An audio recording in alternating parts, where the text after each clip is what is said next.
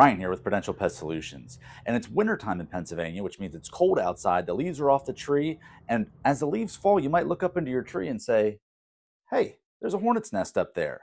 So we often get calls in the wintertime and say, hey, all the leaves are off the tree and I found a hornet's nest in there. Can you come out and treat? Well, we don't typically need to do that because, and again, we're just talking about Pennsylvania and the cold weather states. This does not apply if you live uh, in a warm area year round. But in Pennsylvania, it gets cold, the leaves are off the tree, and these nests, these hornets' nests, are not viable. There's no hornets in here. And we know that because with the leaves off the tree and with none of the workers in here, this is just paper. And there's no hornets to, re to repair or replace it. So in the wintertime, after Thanksgiving, as long as it's super cold outside and it's in the winter, you're free to take these down and get rid of them. Or let the wind, the rain, or the snow dissipate the nest naturally. If it's in the summertime and you have one of these, give Prudential Pest Solutions a call.